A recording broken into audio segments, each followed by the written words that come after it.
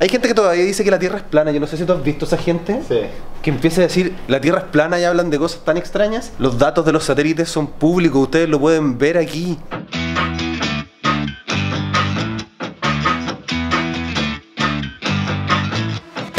Recibí una invitación hoy día a ir a un lugar muy especial y Carlos ofreció a llevarme Buenos días. porque no está tan cerca de... Tampoco es lejos, pero tampoco es tan cerca.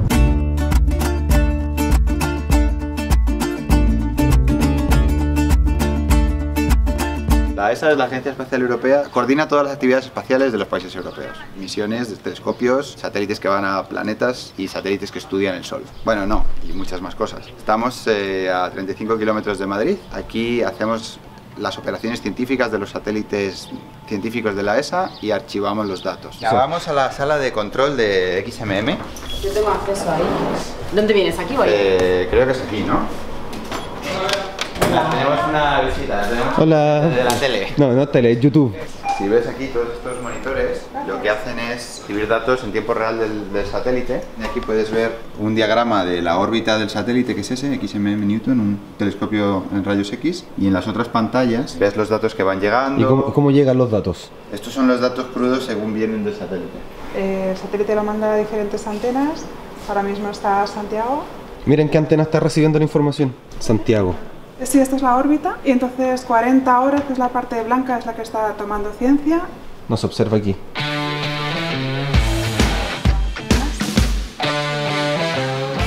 Con esto se habla con Alemania.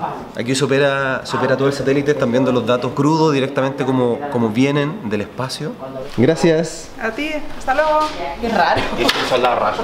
Aquí es donde están todas las máquinas que reciben los datos, todos los servidores de almacenamiento, discos duros y un sistema que se asegura que todos los datos se duplican en varios discos duros para evitar que se pueda perder nada. O sea, los datos que vienen de los satélites aquí los tratamos como oro. Son muy importantes los datos, miren. Muy importantes los datos. Ya ves, entramos en la zona de alta seguridad. Sí, solo tiene él. Solo ahí nada más, ¿no? Ahí hace mucho ruido. Muchas gracias. Bienvenidos a todas las, todos los servidores más eh, nuevos que tenemos. Tenemos una capacidad de almacenamiento inmensa. Los datos de XMM, la misión de rayos X, y hay datos de, de Herschel, otra misión infrarroja. Son los datos replicados y asegurados para que nunca se puedan perder. Aquí tenemos el archivo de Hubble, Hubble Space Telescope.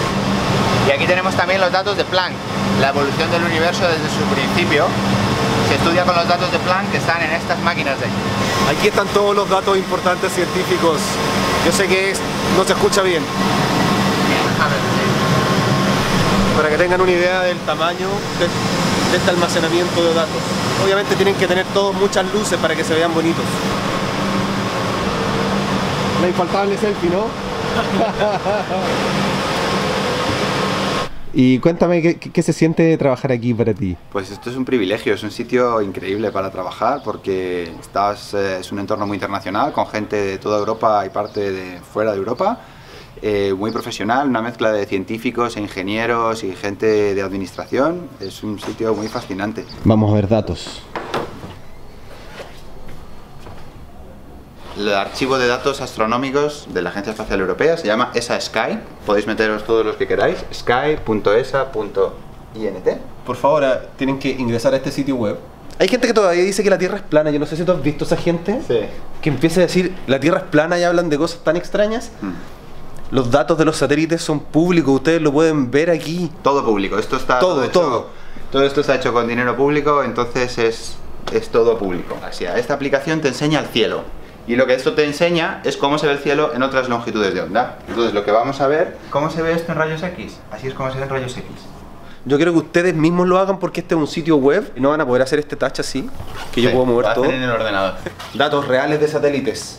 Para astrónomos profesionales. Eh, aquí es donde pueden acceder a los datos eh, de calidad científica para, para hacer las investigaciones. Cuando vienes aquí, te dice en esta, exact, en esta ventana exacta del cielo cuántos datos hay en función de la longitud de onda y cada una de estas barritas son datos que vienen de un satélite distinto. ¿Y cómo estudia un astrónomo entonces? ¿Qué es lo que hacen? Un astrónomo viene aquí, selecciona esta observación, se da cuenta de que es la que está eh, justo en el centro de la galaxia, le da a Download Data Products ¿vale? Y uno, y uno cree que los astrónomos están en los observatorios. Aquí, aquí él tiene todo.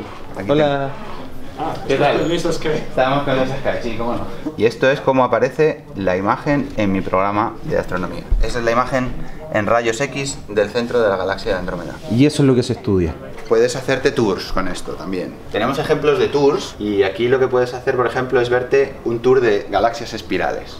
Podemos crear un tour y ponerle una descripción a cada objeto de lo que es para que alguien que no sepa aprenda. El objetivo de la herramienta es facilitar el acceso a los datos. Esto está disponible desde mayo. Acabamos de hacerlo público y esperamos que mucha gente lo use y mucha gente aprenda astronomía con ello. Yo soy astrónomo, estudio formación estelar, cómo se forman las estrellas y los planetas y aquí trabajo en el grupo de archivos creando la herramienta esta que habéis visto antes, haciendo archivos que sean fáciles de que hagan fáciles de acceder los datos a los usuarios, tanto profesionales como amateur.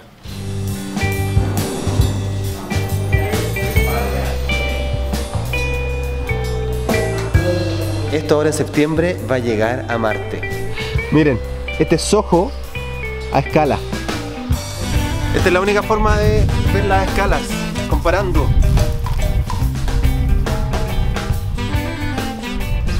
Justo tenemos el sol porque este estudia el sol.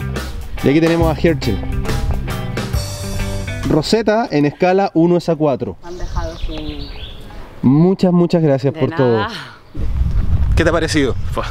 A mí cuando ya me he enseñado el servidor del Hubble, ya, ya, ya me tenían. Bueno, espero que les haya gustado esta visita muy especial aquí a la ESA en Madrid. Ahora vamos a ir a hacer un timelapse Ah, vale. en el perfecto. camino porque está muy bonito. Vamos a subir ahí, que a lo mejor se puede. Yo quería hacer un timelapse allá arriba, pero hay reja. Vamos a buscar un lugar porque allá se ve Madrid muy bonito. Estas espectaculares de todo el Skyline de Madrid. Estas de aquí, aquí son las torres más altas de España, 250 metros. Tenemos todo el skyline de Madrid.